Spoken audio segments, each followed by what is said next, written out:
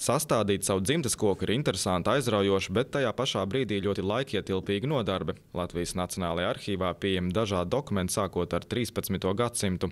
Eksperti gan stāsta, savas dzimtes vēsturi visdrīzāk izdosies izpētīt līdz 18. gadsimtam, ar ļoti retiem izņēmumiem arī senāk. Sastādot dzimtes koku, pirmais solis ir meklēt informāciju internetu vietnē raduraksti.arhīvu.lv. Tajā pieejamas trīs galvenās daļas, kas visvairāk tiek izmantotas informācijas ieguvēji. Tās ir dvēseli skaitļu revīzijas, tautas skaitīšana, kurā ir tikai 1897. gada tautas skaitīšana, un vispopulārākā sadaļa, protams, ir baznīcas grāmatas. Bet tā kā uh, arhīva likums paredz, ka dzimušo un kristīto reģistrus mēs varam publicēt tikai 110 gadus pēc to sastādīšanas, tad šobrīd rakstos ir pieejami tikai reģistri līdz 11, 1911. gadam.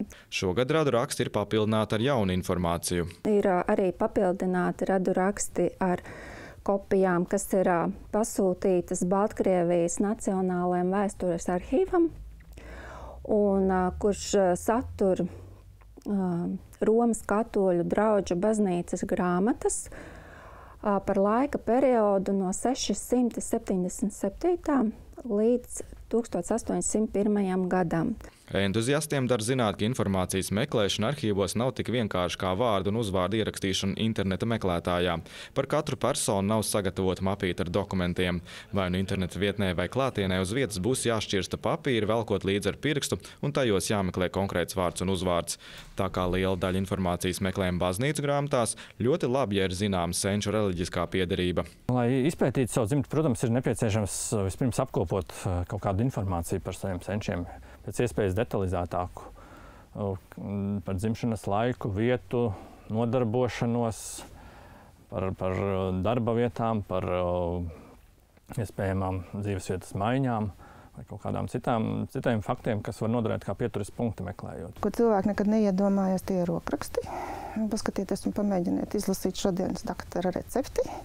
Tad jūs sapratīsiet, kādā daļā viena skrīveri ir rakstījuši, un jums tas arī būs jāatšifrē. Tad ir jāatcerās valodas, ka ne visi būs latviski, būs krieviski un vāciski varētu būt. Un katoļiem noteikti varētu būt arī latīniski un ar apzīmējumu. Jāatceras, ka mainoties varām, mainās arī cilvēku vārdu un uzvārdi. Piemēram, Heinrichs kļūst par Indriķi vai Jānis par Ivanu. Informācija, ko personas datu aizsardzības dēļ nav atļauts publicēt interneta vietnē, būs jāmeklē klātienē. Piemēram, padomu laika dokumentos no cilvēka darba vietas nereti iespējams atrast personu raksturojumu. Katrs interesants var nākt uz arhīvu lasītavu, brīvi pieteikties, brīvi strādāt ar arhīvu dokumentiem un tādā veidā izveidot savu dzimtes koku. Lai gan sava dzimtes koka sastādīšana ir laikietilpīga, arhīvu darbinieki stāsta, tie, kas to ir iesākuši, mēdz iet azartā un ar pētniecību nodarbojas gadiem ilgi. Ulds Birziņš, Šāners Priedītis, Latvijas televīzija.